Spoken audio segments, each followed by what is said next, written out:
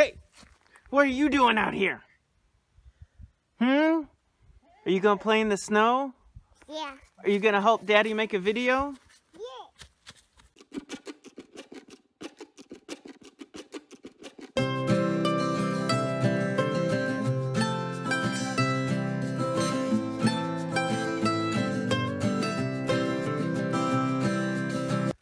Hello and welcome to Teal House Farm. Today we're going to talk about five tips to help a beginner be successful with their livestock.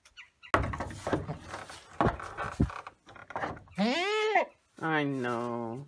My first tip uh, to help you be successful starting out with your livestock is to find a mentor. They're going to eat my phone.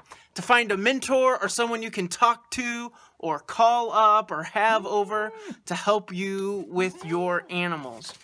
Through YouTube, we've met a ton of people that we can just text or message or call whenever we have an issue or a problem with the garden or the animals. Uh, getting our goats from Chicka Wolf Ranch was such a blessing for us. They came here for a couple of days. It was, that's my beard. It was nice to have someone here for that first milking. I, I felt like I asked them about a million questions while they were here about the goats. So that was just so helpful. That's my first tip. Have some, what are you doing? Have someone you can count on to call. They don't have to be somebody local, just someone that you can bounce stuff off of. Uh, get you help get you going a little bit as a beginner with your animals. Tip number two is to do as much research as you can before you get your animals. Figure out what they're gonna have to eat, what the care for them is gonna look like in the summertime compared to the winter. Um, figure out what kind of breeds there are. Uh, just do as much research. In the, the day and age we live now with smartphones and YouTube, you can have answers at your fingertips in about five seconds. So it's real easy to, to do a lot of research on an animal.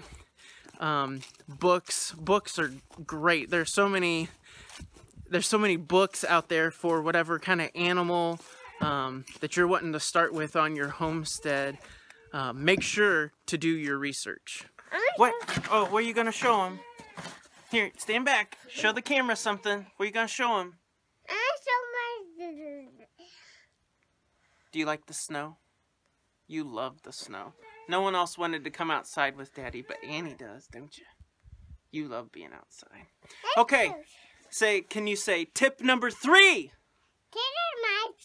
That's right. Tip number three is to make sure you've got all the the kind of physical things you need before you get your animals here. Whether it's a coop, uh, whether it's some kind of a shelter like for our goats. You want to make sure you've got all your feeders, all the waterers. Now, you might not have everything that you're going to need for the, the whole lifespan of a goat. We've got some things that we don't have yet. Uh, for example, once we have kids, uh, baby goats here on the farm. But um, for getting for getting our goats and forgetting our chickens and stuff, we tried to get as much done before they got here and to be as prepared as possible. I wanted to film out here. It's just so pretty with the snow falling today. At least I feel like it is. Tip number four, don't be afraid to fail um i i don't know maybe it's just me and the way that i go about this stuff is i i want to get all my ducks in a row and make sure that it's almost perfect before we get animals here.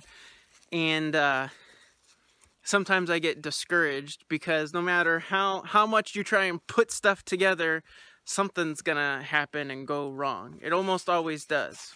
Farmers and homesteaders that have done this for much longer than we have we're talking people that have done this for 10, 15, I mean like some of these people have been doing it an entire lifetime, 50, 60, 70 years.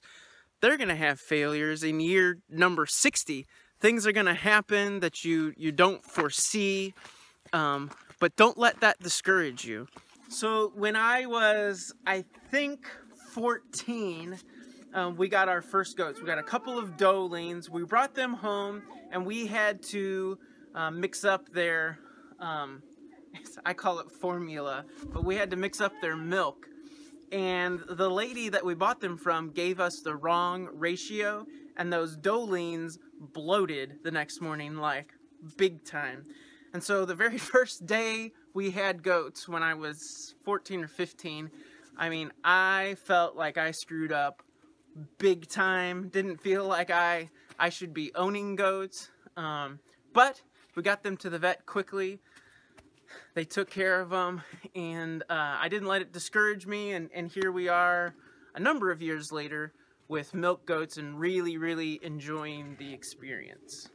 Number five, our last tip to help uh, a beginning, uh, someone that's just beginning with their livestock, is to just go and do it.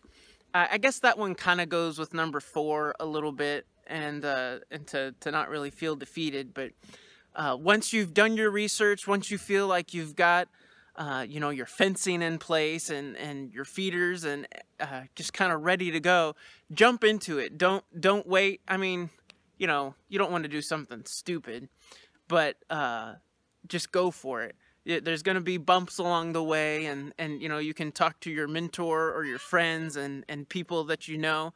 They'll help you get through it. But uh you know getting getting the milk goats getting any kind of a dairy animal here on the farm seemed like a big step. I mean you have to milk every single day. There are no day off days off. And i know it's that way with having chickens too but uh, it seemed like a big step for us I kind of wanted this video to be kind of an encouraging thing for people. And I know it's winter, so most people aren't going to start with animals here at the beginning of winter or the ending of fall. But I just want to encourage people. Um, I know you see you see people on YouTube or you know bloggers, things like that. People that have made the jump into homesteading, having animals. I just want to encourage other people to do the same. You can do it do your best to be prepared and then just go for it. People have been raising animals for a long, long time. All kinds of people. And if they can do it, you can do it too. Okay, so Annie, Luke, and myself, we appreciate you watching this video. Make sure to check us out on Facebook and Instagram. Check out Laura's blog. All those links will be in the description. Come here, Luke. Good boy. All those Luke, all those links will be in the description. Drop a like on this video if you haven't subscribed. Click that subscribe button. Okay, we'll see ya. I I think she's going. Say, hey, say, see you later. See you later.